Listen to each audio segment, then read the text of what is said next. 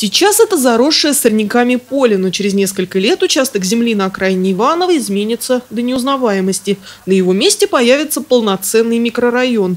Речь идет о территории за торговым центром Евроленд, ограниченной улицей Павла Большевикова, Уводью и земельными участками по улице Куконковых. Проект масштабный, рассчитанный на десятилетия.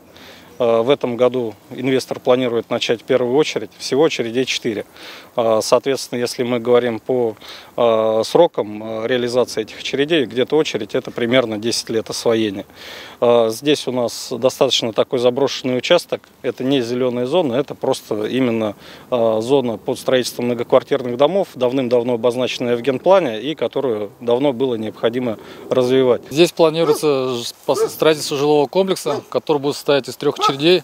В первую очередь будет состоять из шести домов, этажностью от 4 до 17. Будут также построены дошкольные учреждения на 120 мест. Будет построена поликлиника, 70 гектаров, пусть даже на окраине Иванова, лакомый кусочек для любого застройщика. Тем более, если этот участок в генплане уже в зоне многоэтажной застройки. Единственный нюанс на территории предполагаемой третьей очереди строительства сейчас три комвольные улицы. Частный сектор, в котором более 60 домов подлежит сносу. Участки у собственников будут выкуплены по рыночной стоимости. И пусть вопрос этот не одного десятилетия, но вмешательство требует уже сейчас. Потому с жителями встретился лично глава города.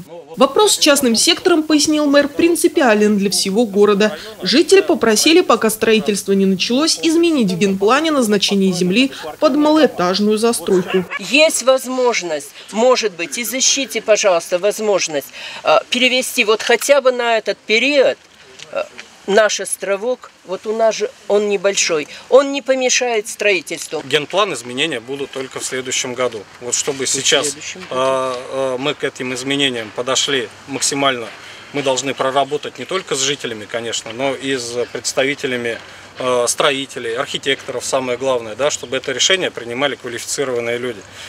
Я, как глава города, против этого не возражаю. Но решение такое принять боюсь. Почему? Потому что э, уйдет та линия, которую десятилетия выстраивала архитектура, ну, управление архитектуры города. Чтобы при строительстве ничьи права не были ущемлены, собственникам домов нужно создать инициативную группу, а лучше ТОС, для того, чтобы в лице представителя люди участвовали в принятии решений.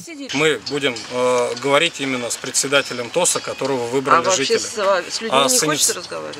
Если бы мне не хотелось разговаривать с людьми, я бы, наверное, сюда не приехал. Работа над будущим микрорайоном начнется с организации подъездных путей. Здесь же планируется строительство автодороги, которая соединит улицы Куконковых и Павла Большевикова для лучшей транспортной доступности будущего жилого массива. Наталья Гутарина, Анатолий Логинов, РТВ Иванова.